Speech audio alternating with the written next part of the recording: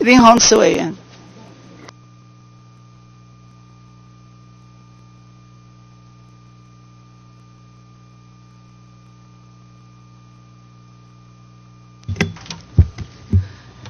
呃，主席、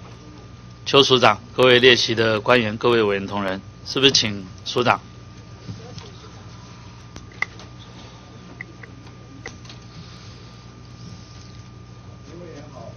啊，署长长。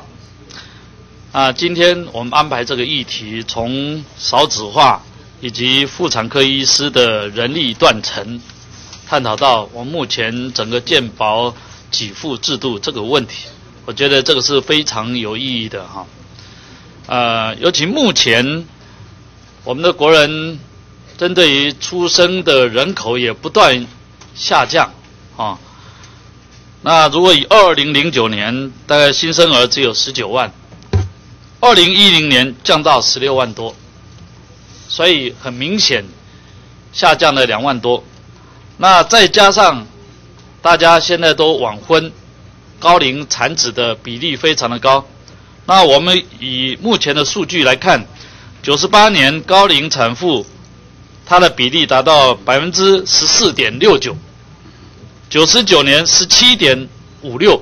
所以也不断的呃提高。另外再加上目前妇产呃接生这个部分的健保给付太低啊。所以现在很多的妇产科医师都要转行啊，都不希望留在妇产科。这样的现象也导致我目前的妇产科医师以高龄化。刚刚侯彩凤委员有特别提到，如果照一般的医师的平均年龄大概四十四点五岁，但是妇产科医师达到五十二点五。所以年龄偏高，在这样一种现象之下，我们确实应该好好来检讨，到底是什么原因造成这些妇产科医师要转到美容医学这个部分？啊，甚至我听说有个艺人，她的老公原来是泌尿科的，也希望转到美容医学科。所以，针对这个问题，早上我们很多委员提到，那我希望卫生署针对这个问题好好去研议。当然，大家提到的有关于健保给付太低的问题，那健保局原来以前也有答应说，是不是应该在点子上能够予以提升？但是健保局似乎把这个问题丢给妇产科学会。要妇产科学会自己提，我觉得这个问题恐怕，呃，健保局应该站在整体的一个角度，主动积极去提出方案来解决这个问题。因为早上很多委员提出很多的方案，那我想这个问题，署长你不需要再答复，但是这个问题一定要深入来研商解决的方案。不然，妇产科医师越来越少，啊，这个也会对于我们妇女同胞她的权益，我们的下一代的健康都会遭到很大的影响，啊，所以希望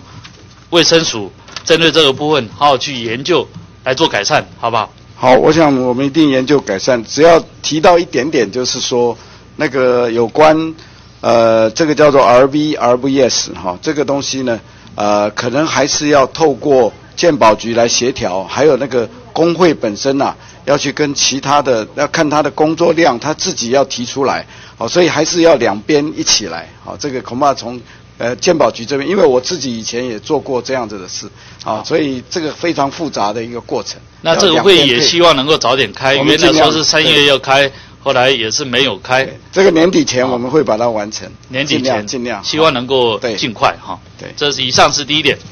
那第二点，本期要提出来就是有关于医疗资源的一个平衡的问题。那么从民国七十四年医疗网实施以来，以前的台北县，也就是现在的新北市，跟台北市它是划分为同一个医疗区，二十五年来。现在的新北市人口增加了一百二十四万，但是台北市只增加了十一万。但是整个医疗资源现在全部偏重在台北市。我这里有一个统计，台北市总人口两百六十二万，却拥有八家的医疗中心，急性一般病床有一万六千八百二十床。但是新北市人口已经达到三百九十万，却仅有一家医学中心，啊，急性一般病床只达到七千一百六十九床，啊，新北市这个标准，在全国各县市来讲是倒数第二，只赢过金门县。那到底为什么会这样子？这跟以前台北县跟台北市。划分为同一个医疗区，所以很多的医疗资源集中在台北市有关。那现在台北县已经升格为新北市，未来三环三线啊完成之后，外来人口会不断涌进，很多地区的生活圈不断的形成，但是在新北市的医院病床无法增加，医疗中心无法增加，大家都要。跑到台北市去就医，我觉得这个对新北市来讲是非常不公平的，所以本席在这里提出两点建议，给卫生署做参考。第一点，我们要建议要重新划分医疗网，台北医疗区的次区域啊，应该要按照人口成长、交通正经发展、生活圈、医疗需求等因素，把台北医疗区。重新划分为六区，这六区就是东区、西区、南区、北区、中区跟西北区。那我了解，我们目前卫生署曾经有一个草案，也打算把它划分为五区，但是其实划分五区并没有，呃，这个充分来让新北市有一个更好的医疗网。为什么？因为台北市、新北市人口太多了，这里面应该要加上一个西北区。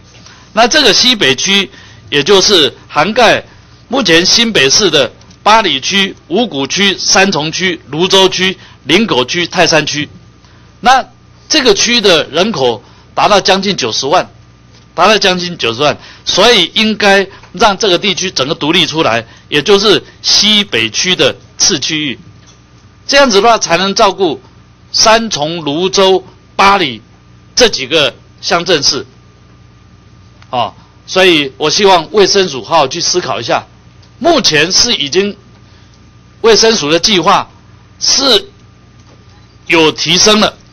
啊，对新北市有比较公平的，但是似乎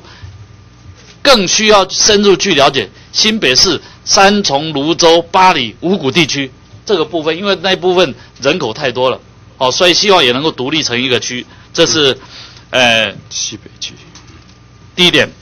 第二个，本期在这这里建议啊，应该要修正医院设立或扩充许可办法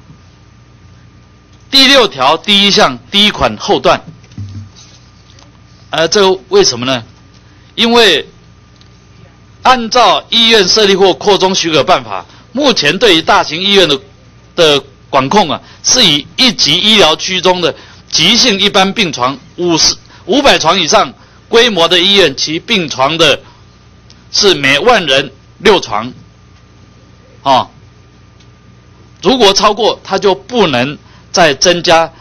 呃任何的床位。但是现在，因为新北市跟台北市它是合在一起，跟基隆也合在一起。那以前资源整个集中在新呃台北市，所以现在在这样的状况，在新北市，啊，一般区域急性一般病床规模五百床以上的医院，目前一床都没有办法增加，没有办法增加，所以你现在虽然划分为呃未来的计划，不管是划分五个次区域或者六个六个次区域。但是对医学中心有五百床以上，你还是设限。像比如说像亚东医院，没有办法增加。我们如果到亚东医院急诊室看看，一看就人山人海啊，就光挂急诊躺在那边的，任何时间去，恐怕都会超过一百个人，所以他病床没有办法增加，哦，这个是相当不合理的，哦，所以本期在这里要建议，希望卫生署好好去研究一下，修订医院设立或扩充许可办法里面第六条第一项第一款后段，修改哪里呢？就是把于一级医疗区域之急性一般病床达五百床以上的医院，每万人不得逾六床，啊，修改为于次医疗区域之急性一般病床达五百床以上之医院，每万人不得逾六床，也就是把一级医疗区域把它改为次医疗区域。你说一一级医疗区域，台北市跟新北市是同一个区域嘛？那以前治疗资源都已经集中在台北市了，所以新北市五百床以上的医院，它是无法增加床位的。这是以前长期以来的医疗资源分配不公，造成现在的结果。但是现在新北市人口不断的增加，所以本期建议就是说，把一级医疗区域的部分把它改为次医疗区域，用这样为单位，这样来修改，比较能够平衡新北市跟台北市医疗资源不均的状况，这样才能够确保新北市市民有比较好的一个医疗的一个权益。那这一点是不是请署长来？第一个哈，我想那个建议在东这个五区之外哈，再考虑这个西北区的这个，我们再回去会立刻就研商哈。那第二个哈，因为新北台北市哈，它是一个比较特别的，它是全国的病人都会集中哈。那新北市呢，还事实上还有一些床位，在双河医院大概还有三百床还没开，更新医院也还有三百床。那么最近呢，辅大附设医院它的五百床也通过了，另外还有土城的大概分院，它现在在申请五百床，这个应该会可以通过哈。所以合计起来呢，在最近的两到五年内就会增加一千六百床。所以我想那个如果把这个条文哈再修改的话呢，呃，可能会增加的床数会达万床以上，上万床。所以我想我们这个会再斟酌一下。看怎么样来比较，也不要增加太快，因为现在健保资源已经没有办法再负担这么大的的床数哈，所以我想我们再协商一个比较中间的一个怎么样来达到哈，这个我我会再跟委员做报告。好，希望署长针对这个部分，他要去考量到新北市民他长期以来受到不公平的一个待遇。那现在变成院辖市，人口不断的增加。是是。好，那当然我们并不希望说，呃，整个医疗，呃，就不断的扩充。哦，这也会有问题。对。但是以前受不了。新北市跟台北市之间长期的不公，我们也应该还新北市一个公道。好，好不好？好，这个我们就来看怎么样比较恰当哈，又不浪费资源太厉害，好，那么又可以把这个问题改善。希望能够做一个折中的一个办法，不然也要应该授权新北市政府，针对于有些病床，有些医院根本控制长期以来有一个有病床的空位，